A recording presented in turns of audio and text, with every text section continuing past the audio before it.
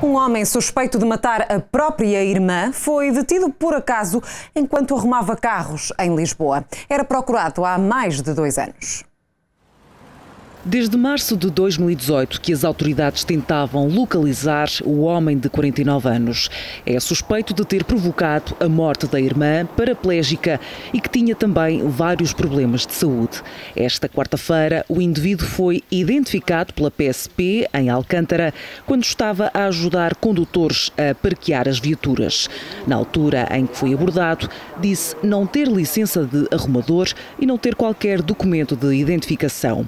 Através do nome, a polícia verificou que o homem tinha um mandado de detenção pelo crime de homicídio qualificado e ainda vários pedidos urgentes para cumprimento de avaliação psiquiátrica.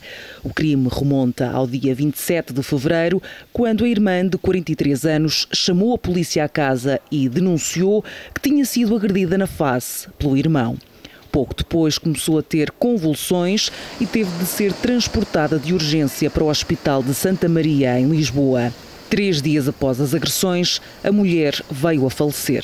O suspeito de 49 anos foi presente a um juiz e agora vai aguardar o desenrolar do inquérito em prisão preventiva.